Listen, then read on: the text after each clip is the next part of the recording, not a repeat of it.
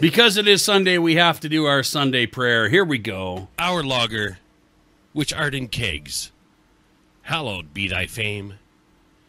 They will be drunk, I will be drunk, at home and in the camp.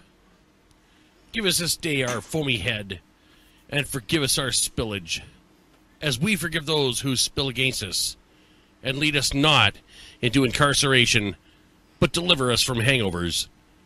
For thine is the ale, the pilsner, and the lager, forever and ever. Amen. Cheers, everybody.